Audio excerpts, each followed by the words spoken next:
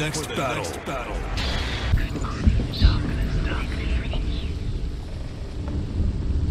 She should have listened. Years had passed since she left her father. She thought she could define. She trained hard alongside her friend, Dillion. She saw things no one else could patterns, shapes, movement. An intuition that made her an exceptional warrior. Friendship turned to love. But the shadow of darkness never let her go, and she was caught between two worlds that of Zynbel and her past, and Dillion, her future. Two realities tearing at her soul. Cannot accept his death. He was the only one that Does it feel like to feel a love so strong? Overcome with grief, the gods send Hermod to ride to Hell and ask Hela to let Balder return home. All the gods are weeping, he says. Are they? asks Hela. We shall see if he is truly missed. If everything in the world will weep for him, he shall go back to the gods. But if even one thing refuses, Balder stays with me. Gods send messengers everywhere. Weep for Balder, weep him out of hell. And everything wept men, beasts, earth, stone, trees, metal, everything. Except for a giantess they find in a cave. Balder was never my friend, she says. Let hell keep what she has. The Northmen say that the giantess must have been Loki in disguise. Quicker. Dillion!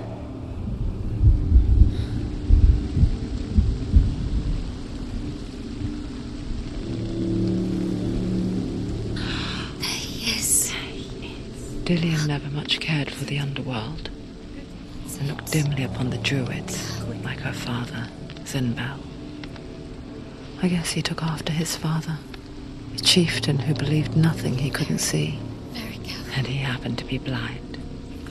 She felt safe in Dillion's arms, glad to see the world through his eyes. Slowly, the darkness that had bound her so tightly began to unravel. Be quick. Be quick. Careful. Don't Breathe. It's not safe. You're going to fall. Careful. No, she's not. She's not going to fall. She's strong. She's steady. She can do it. You can do it, Senua.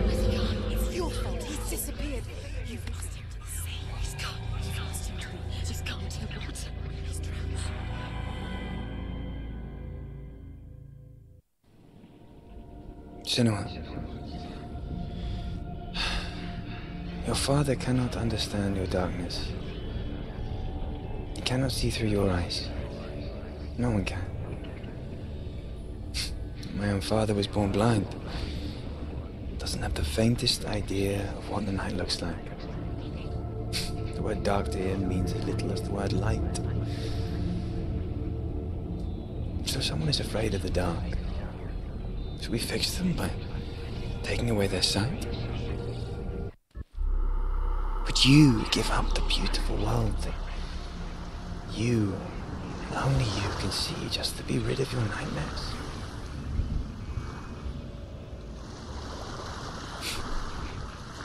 Or is this the price you pay for the gift you have? A gift that makes you so special in my eyes. Just another part of the person I love.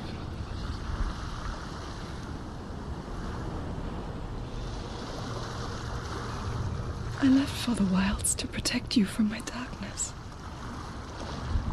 Because I love you. But it made it worse.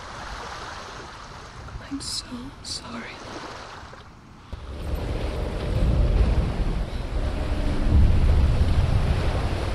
Northmen say that their Allfather, Odin, gave his eye in exchange for a drink from Mimir's well, the well of wisdom.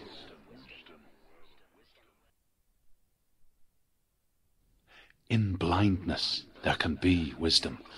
Only by giving can you receive in return. For this reason, I give my life and pass on my stories of the Northmen to you, Senua.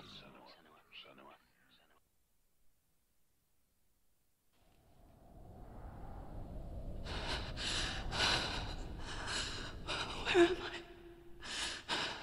I? I can't see.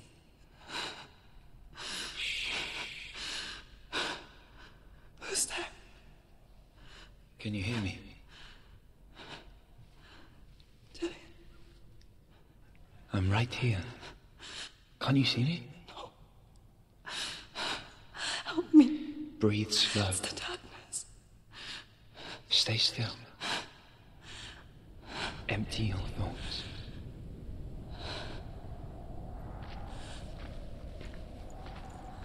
Tell me what you feel. The breeze. Good. Then there is a way out. I can't tell where it comes from. Yes, you can. The others. The voices. They've gone. I'm still here. So quiet. So dark. It's okay. Listen to your own breath. Feel it rise and fall. Good. Be aware of everything you hear and feel. Let your senses guide you.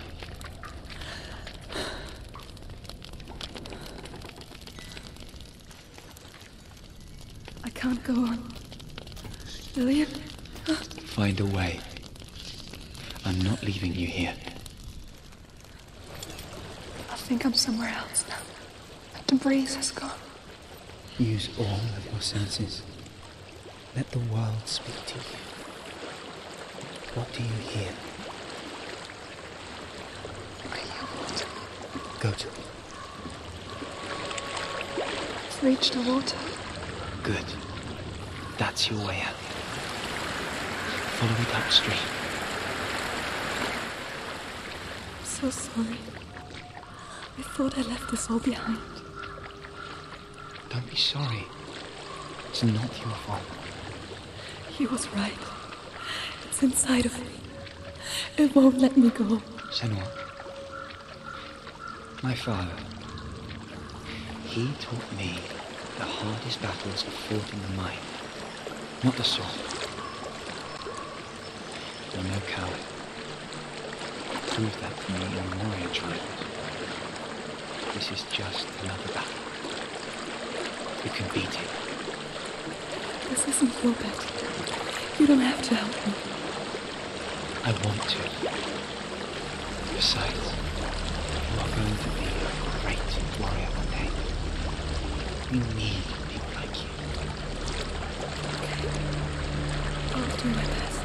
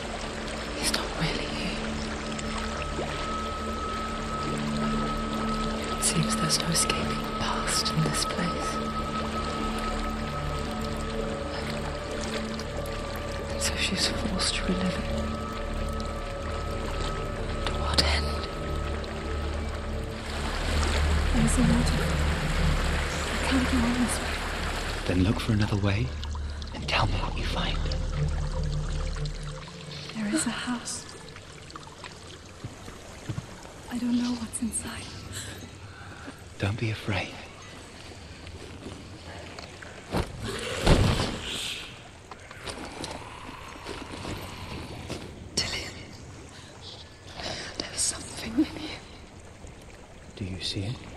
No. Then it cannot see you. Quietly move past it, one step at a time.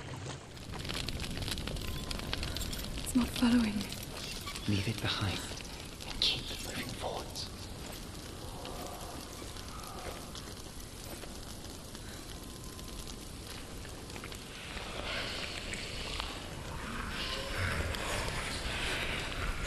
There's more of them breathing too fast. I'm scared. Listen to the sound of your breath. In and out. In and out. It will pass. You can do this, Senua. I think I'm in a house. It stinks. Of death. The darkness is testing you. But you are in control. A well. There's a well. Don't turn back.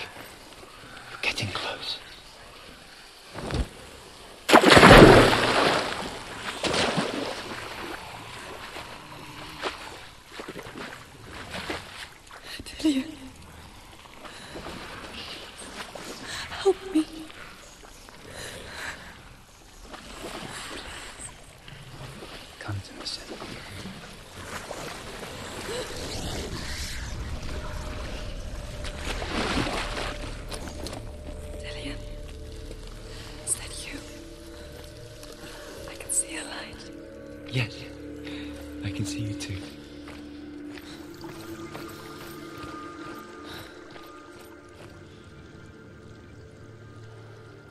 She could spend hours, days even, trapped within herself, in the dark.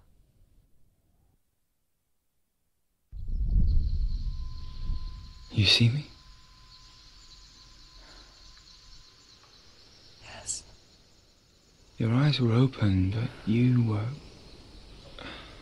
gone.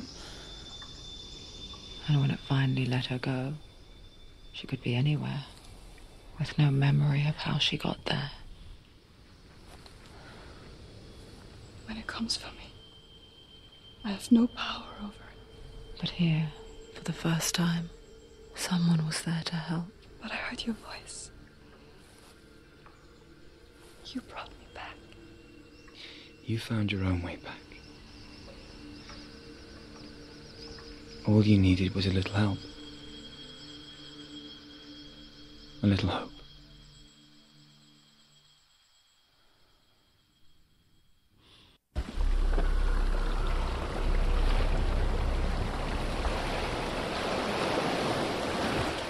With Gramr reforged, you will have Odin's blessing to walk, a goddess, into the halls of Helheim and challenge Hela as an equal. So Dillion was helping me. And the sword will lead me to him. Like when we first met. Dillion gave her the strength to pass the warrior trials, and she saw a way out. To leave her past behind and become a warrior in Dillion's clan. The sword is tainted by the gods of darkness. Leave it. He left it here. He wants me to take it. You will pay a price for this.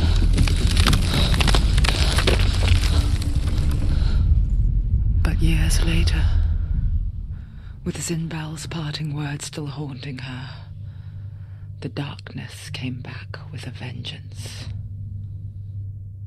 The plague. Dillion? Everyone suffered.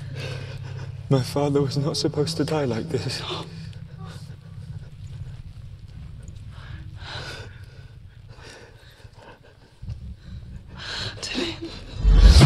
Do you see it clearly now, Senua? The suffering you've caused. This is your fault. You brought this plague to us. You have blood on your hands.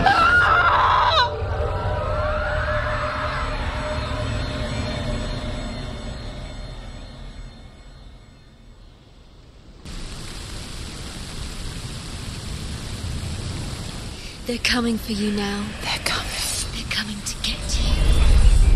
Hold your heavy strike. Hold it. Hold the heavy strike.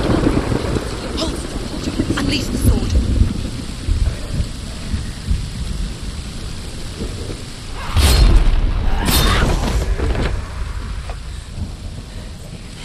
sea of corpses. The corpse waved through itself over the ones I loved. The ship broke up under them. The ship that had sailed from the land of shining fields. Their memorial stone is sacred. Come not here in the sun. Come not with a sword. Come not crying over a naked corpse. Come not with disturbed mind. Who is it? Galena! Where are you? Do you hear, Senua?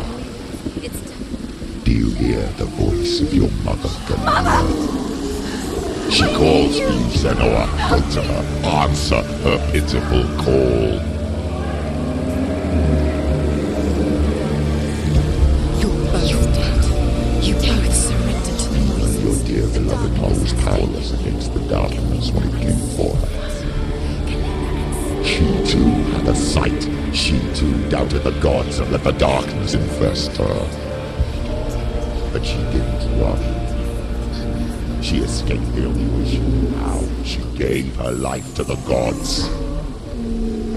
If only you had done the same, the world would have been spared this horror. It's not too late. She's calling for you. Why don't you join her? Why do you still fight on? You too should suffer with your brethren in this rot and let your blood sink into the seas and the rivers of hell. Isn't that what you deserve after all you've done? Give the darkness what it wants, let it swallow your soul and destroy all that you are. Why are you fighting someone who is already dead? Just look around you. What hope is there for him, even if his soul could be rescued? Do you think he would thank you for what you have done to him, to his friends, to his father?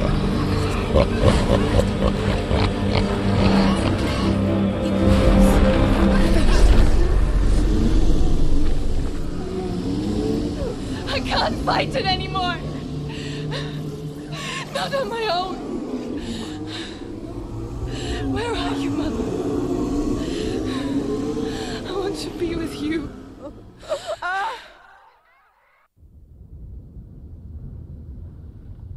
That night, she gave up on her world to follow in the footsteps of her mother,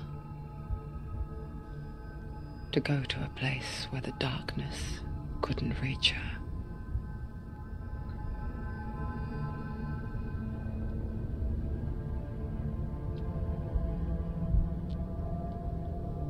Senua.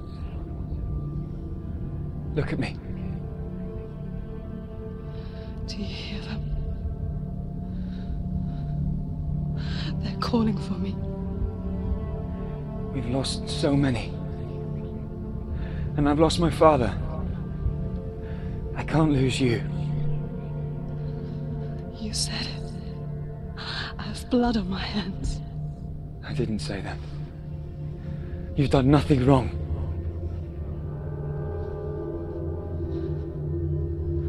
Zynbel was right. Everyone will suffer. Zynbel is a fake. He is a hateful, bitter liar. He's poison. His words still haunt you. Who do you trust? Him? Or me? Do you still believe in me, Senua? In us?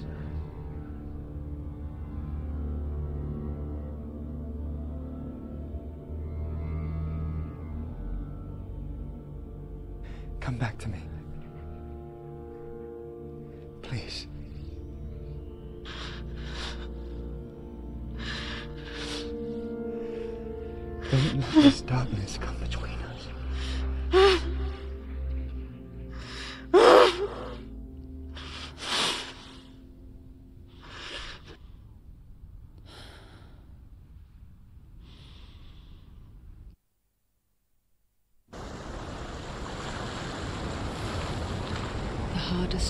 battles are fought in the mind. He gave her the sword with which to fight in more ways than one. And she gave him her word, never to surrender. All she needed was a little help, a little hope.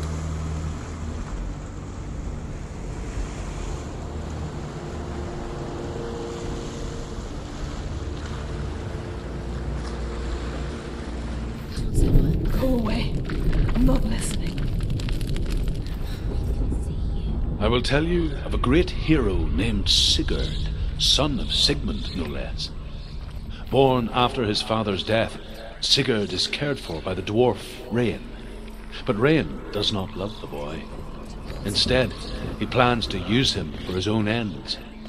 You see, Regin's father possessed a great treasure given to him by the gods. But Regin's brother, Fafnir, killed his father and took the gold all for himself. Fafnir hid the treasure out on a heath and could not leave it. And from the evil in his heart, he turned into a dark creature. A dragon. Something Behind the door. What is it? She can feel it. No. Don't open the door. No, go in. Don't. back. Turn back. What's in there? Get back! A great beast guards Helheim. Garm is its name, and it knows you are here, Senua. It can smell your stink. What are you afraid of, Senua? How will you save Dillion if you are too much of a coward to step into the shadows? They can't stop me. Then do it! The beast is stalking you from the shadows. Your sword is useless here.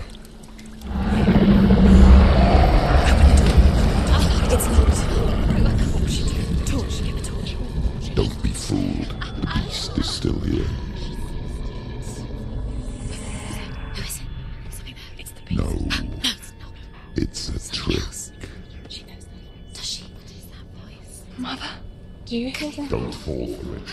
It's me, Senua. It's so loud. It's not her. So full of hate.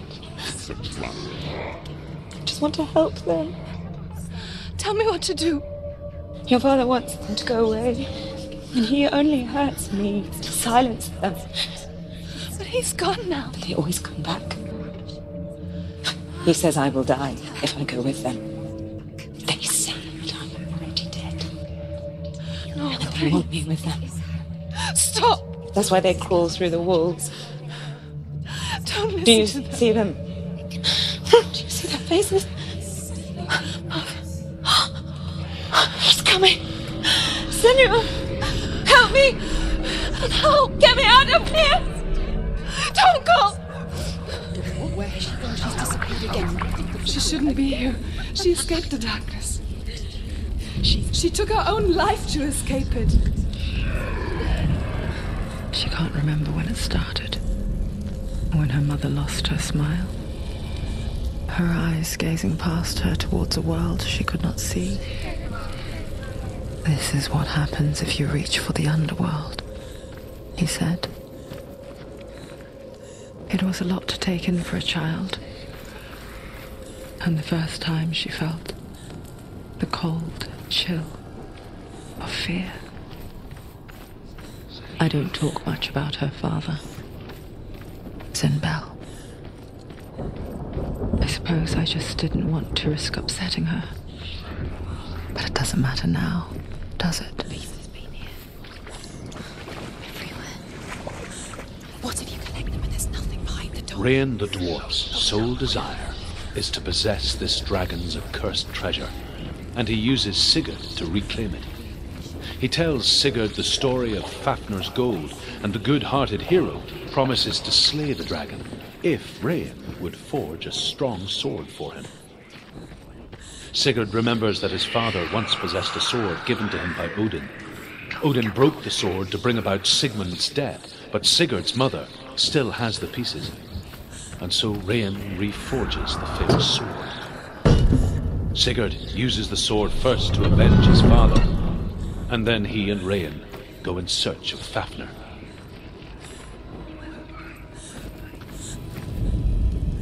The dragon Fafnir is so large and deadly that it would be impossible to kill him face to face. But each day, Fafnir crawls across the heath to find water. So Sigurd digs a pit in the dragon's path and lies in wait in it. When Fafnir slithers overhead, Sigurd sinks his sword into the dragon up to the hilt. Sigurd leaps from the pit, and Fafnir sees his killer. He warns Sigurd that the treasure will lead to his death, as it led to the death of all who owned it. Sigurd replies that death comes to all men, and every man would want to be wealthy until that day. And he takes the treasure. This place. It reminds her of the isolating, suffocating darkness that she lived through as a young girl. Imprisoned in her room at night, the faces in the dark coming through the walls. She once thought everyone could see them. I mean, that's what children say all the time, isn't it? That there are monsters in the dark. By the time she realized that only she could see them, her father, Zynbel, could see the monster in her. Do you feel it? The beast is crawling into your mind, searching for weakness. It found your mother.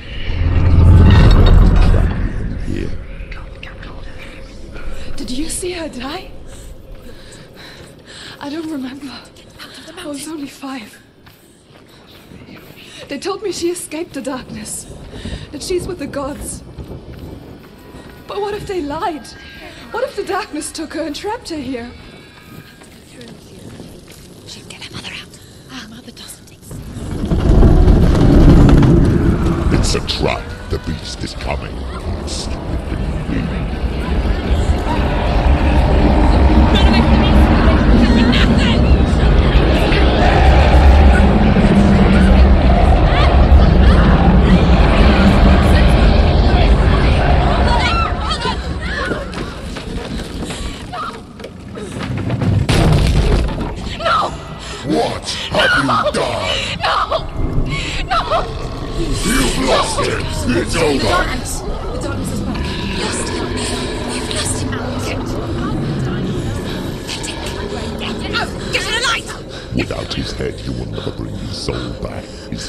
is sealed. Now it can see you at your weakest. The time you suffered as a child at the hands of your father Zynbel while you pined for Dillion.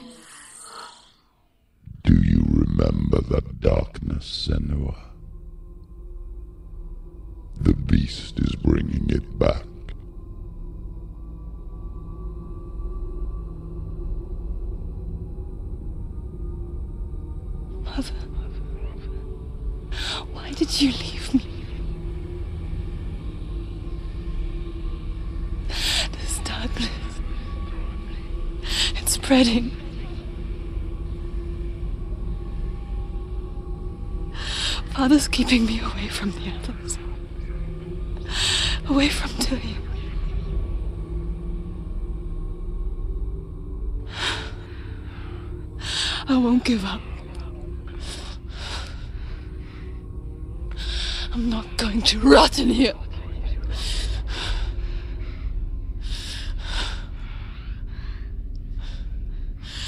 I'm going to find Dillion.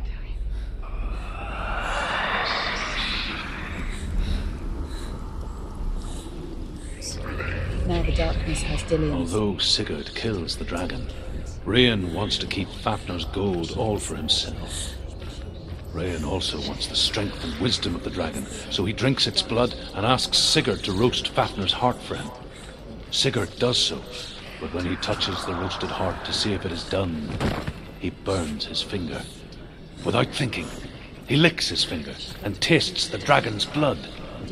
In that moment, he understands the language of birds and hears them talk nearby. She'll die. Sigurd's newfound power lets him hear the birds speak, And they say, Sigurd should eat the heart himself. Regin wants Fafnir's gold. Sigurd should kill Regin before Regin kills him. Sigurd should find Brynhild, the Valkyrie, who sleeps an enchanted sleep. Sigurd heeds the bird's advice. He kills Regin, eats Fafnir's roasted heart, and takes Fafnir's treasure. And he embarks on a new quest to ride to Hindarfjall and find Brynhild, the Valkyrie.